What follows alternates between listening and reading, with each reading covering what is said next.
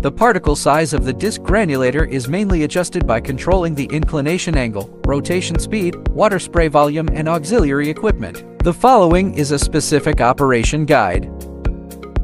1. Inclination angle adjustment. The larger the inclination angle, the faster the material slides down, the shorter the residence time, the shorter the particle growth time, and the smaller the particle size. The smaller the inclination angle, the larger the particle. Target particle size 3 4 mm. Adjust the inclination to 50-55 such as fine particles of compound fertilizer. Target particle size 5-8 mm. Set the inclination to 35-45 such as coarse particles of organic fertilizer.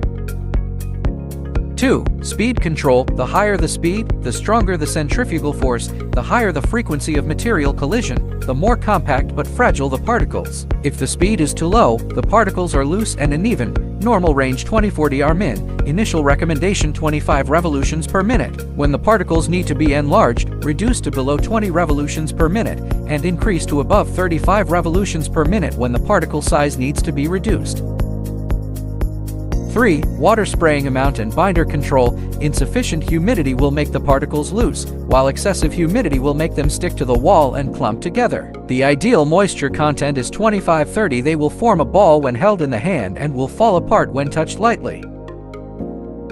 4. Scraper spacing. Keep a distance of 1 5 mm from the bottom of the plate. If the distance is too small, the particles will be broken, and if it is too large, it will stick to the wall 3 mm is recommended initially. Screen aperture. Replacing screens with different apertures can quickly adjust the particle size, such as 3 mm mesh produces fine particles, 8 mm produces coarse particles.